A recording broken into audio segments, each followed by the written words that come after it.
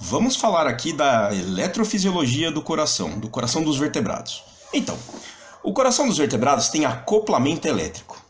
Isso significa, em parte, que as células que formam o órgão se comunicam eletricamente.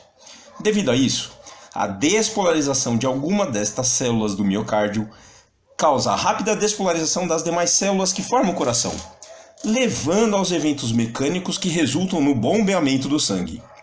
Se você perdeu essas explicações sobre o bombeamento do sangue, o ciclo cardíaco, veja os vídeos anteriores sobre o coração que eu deixarei na descrição deste vídeo. Agora, essa estimulação elétrica que leva a uma atividade coordenada das células do miocárdio, promovendo contração do miocárdio de modo rítmico, é controlada por células especializadas, que são apelidadas né, de células marca-passo nome que sugere exatamente essa atividade rítmica do coração. Estas células marca-passo estão localizadas no seio fenoso em peixes, anfíbios e répteis não crocodilianos. O seio venoso é um compartimento que antecede o átrio nos peixes e antecede o átrio direito nos demais, né, nos anfíbios e répteis crocodilianos. Eu vou colocar aí para vocês umas setas, então reparem nas setas, tá? Como indicado para vocês com as setas, Note o seio venoso dos peixes e o compartimento subsequente que é o átrio. E no caso dos anfíbios, podemos ver o seio venoso na parte frontal do coração e o átrio direito atrás, né, logo atrás do seio venoso.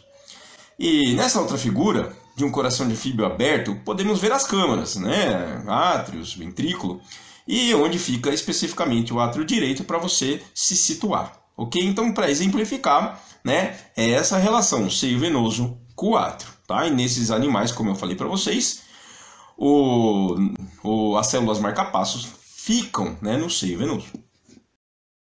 Em aves e mamíferos, contudo, o seio venoso foi incorporado ao átrio direito e as células marca-passo estão na parede do átrio direito.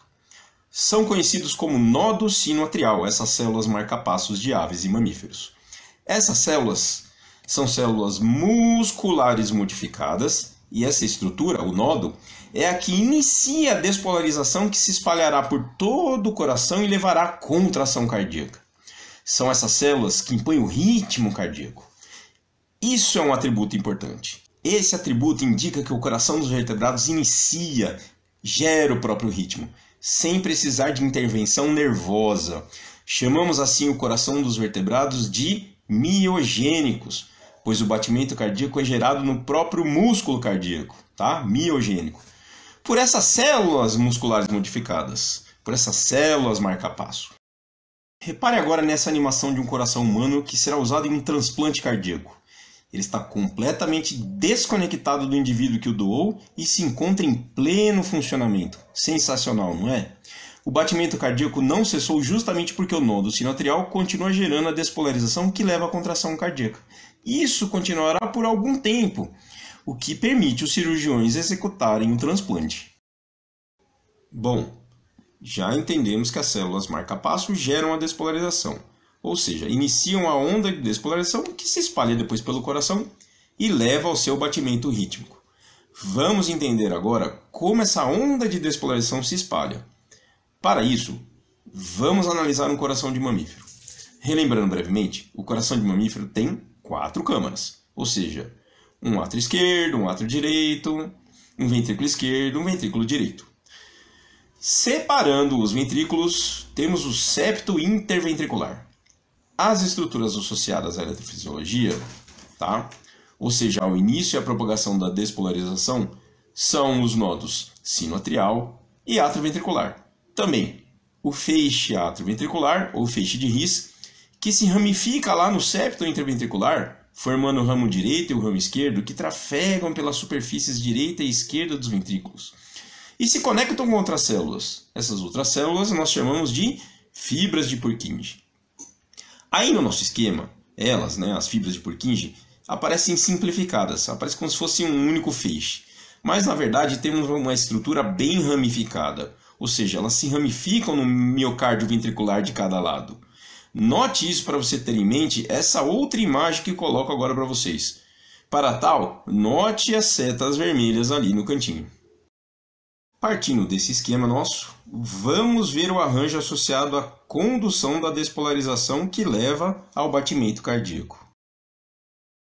O primeiro evento é justamente a despolarização ali no nodo sinoatrial, tá? É o início de tudo. Então, o início da despolarização se dá no nodo sinoatrial, primeiro evento nosso. Segundo evento, a despolarização se espalha pelos átrios e os átrios se contraem. Depois disso, o nó do átrio ventricular é ativado e com um certo atraso, tá? Porque senão ventrículo e átrio contrairiam ao mesmo tempo, tá? Então o nó do átrio ventricular é ativado e a despolarização, aí sim, trafega rapidamente através dos sistemas de condução ventriculares. Como último evento, a despolarização quase simultânea das células dos ventrículos leva a uma vigorosa contração ventricular. Essa contração ventricular promove justamente a ejeção de sangue para o sistema arterial. E esse ciclo eletrofisiológico se repete inúmeras vezes na nossa vida, na vida do animal.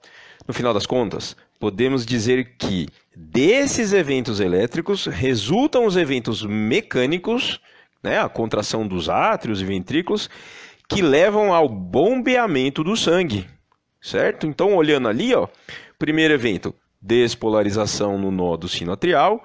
Essa despolarização se espalha para os átrios, os átrios se contraem, o nó do átrio ventricular é ativado e a despolarização caminha rapidamente lá para os ventrículos, né? Através do feixe atrioventricular, depois através das fibras de Purkinje.